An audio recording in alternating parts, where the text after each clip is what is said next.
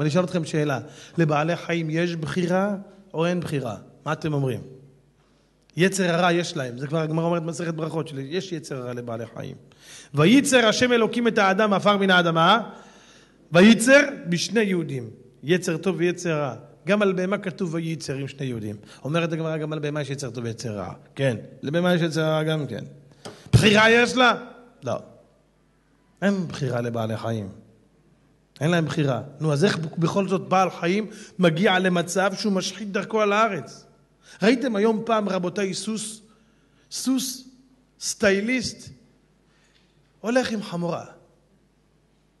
הוא החליט להיות ממצעד הגאווה. הוא לא רוצה סוסה, וואלה, בא לו על חמורה. חמורה מסתובבת עם סוס. כלב, וואלה, בא לו על חתולה. הולך עם חתולה. יש דברים כאלה. פיל, פתאום אתה רואה הולך עם קרנפה. מה? אתה רואה שועל מסתובב עם לוויה. מה קורה פה? מה השתגעה העולם?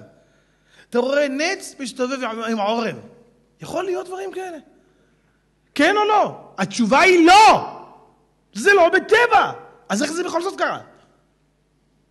בעלי חיים חוטאים, אני שואל אתכם שאלה, חוטאים? התשובה היא לא. אתם יודעים מה כן קלקל? האדם. רבותיי, ברגע שהאדם משרה אווירה של טומאה על מקום, הוא גורם אפילו לצומח ולדומם ולחי לשנות דרך. אני אשאל אתכם שאלה. רבי פנחס בן יאיר, אתם יודעים מה חז"ל אומרים? אם ראשונים כמלאכים, אנחנו כבני אדם. אם ראשונים כבני אדם, אנחנו כחמורים ולא כחמורו של רבי פנחס בן יאיר. מה?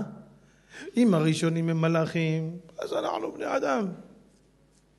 יחס, מלאכים בני אדם. אם הם בני אדם, אנחנו חמורים, אבל לא סתם חמורים, חמור חמורותיי. מה? חמורו של רבי פנחס בן יאיר הוא הרבה יותר גדול מאיתנו. למה? שלא היה אוכל דבר שאינו מאוסר. רבותיי, חמור של רבי פנחס בן יאיר, אתה מביא לו משהו לא מאוסר עכשיו, הוא היה עושה ככה. אסור, לא אוכל. אני חמור חרדי, לא נוגע. מביא לו מאוסר, מתחיל לאכול. אני אשאל אתכם עכשיו שאלה. אני אקח היום, רבותיי, בן אדם צדיק, תלמיד חכם. אני אביא לו אוכל, ואני אגיד לו, תאכל. הוא ידע אם זה מאוסר או לא? איפה הוא ידע? הוא ישאל.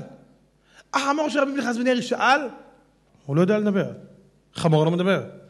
הוא הריח, איך הגמרא מספרת? החמור של רבי פנחס בן יאיר נכנסו גנבים, גנבו לו את החמור. יום, יומיים, שלוש, והחמור חוזרת הביתה. הגנבים רואים, נותנים לה לאכול, היא לא אוכלת. למה? היא מריחה, זה לא מאושר, היא לא אוכלת. יום, יומיים ראו, אמרו, בשביל מה תמות אצלנו, תתפגר פה? בוא נעזוב אותה שתחזור הביתה לבעל הבית שלה, אולי שם היא תאכל.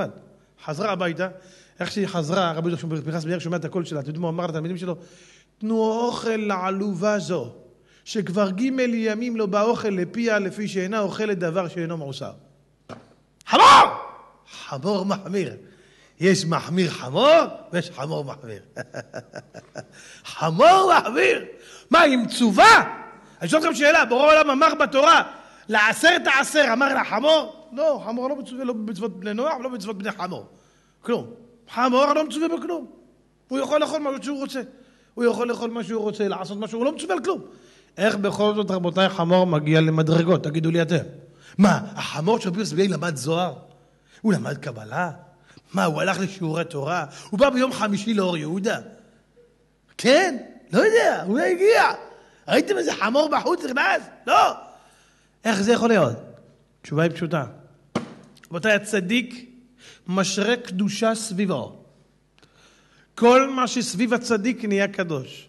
בעלי חיים, קירות, אבנים, עצים, הכל נהיה קדוש. רשע משרה טומאה סביבו.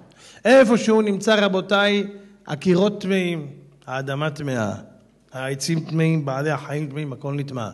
רבי ישראל בעל שם טוב הקדוש אומר, כתוב בפרקי אבות, שניים שיושבים ואין ביניהם דברי תורה, הרי זה מושב לצים. בוא, אני לא מבין.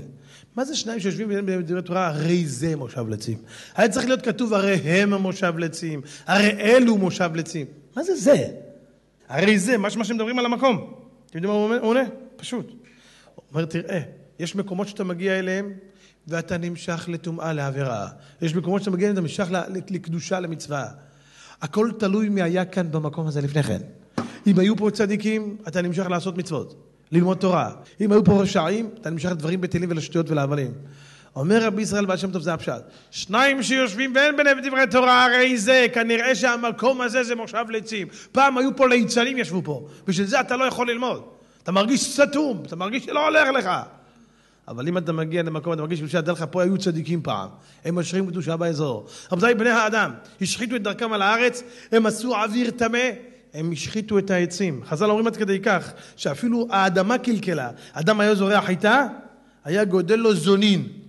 איזה עץ, מה זה? איך יכול להיות? האדמה קלקלה. וואי, מה קרה? האדם קלקל את כל הבריאה, עשה חיידקים רוחניים. מה צריך לעשות? להוריד מבול, להשחית את הכל.